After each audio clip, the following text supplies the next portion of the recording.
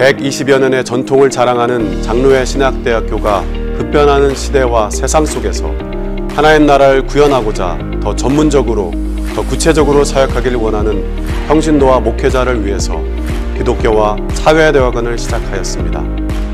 기독교와 사회대화관은 새로운 시대에 평신도와 교회 지도자들을 위한 신학교육의 대안을 제시하기 위해 2018년에 출범하여 선교, 복지, 상담, 신학 등의 다양한 전공과 학과로 교회와 사회, 그리고 복음과 세계를 연결하는 하나의 나라의 동역자들과 평신도 지도자들을 훈련시켜 배출하고 있습니다. 2021년부터는 통일평화학과를 신설하여 복음의 정신과 기독교적 가치에 따라 한반도 통일과 통일 이후를 준비하는 통일 선교사와 평화 지도자를 양성하고 있습니다.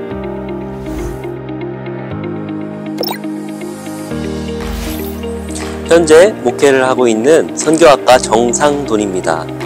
선교학과는 민족 복음화와 세계 선교의 사명과 봉사를 이해하고 감당할 교역자와 평신도 선교사 양성을 목표로 합니다.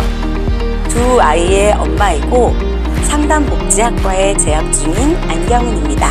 상담복지학과에는 상담 심리와 사회복지 전공이 있습니다. 기독교 세계관으로 세상을 돌볼 상담 심리 전문가와 사회복지 현장을 섬길 전문가를 양성하는 과정입니다.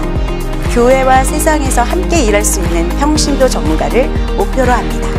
안녕하세요. 저는 사업을 하고 있고 신학연구과에 재학 중인 박정훈입니다.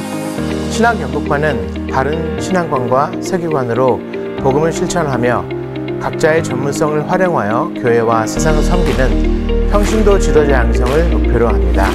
신학 연구과 과정을 졸업한 학생에게는 본교 신대원의 특별 전형으로 지원할 수 있는 자격도 주어집니다. 안녕하세요. 사회복지사로 근무하고 있는 통일평화학과 박이라입니다.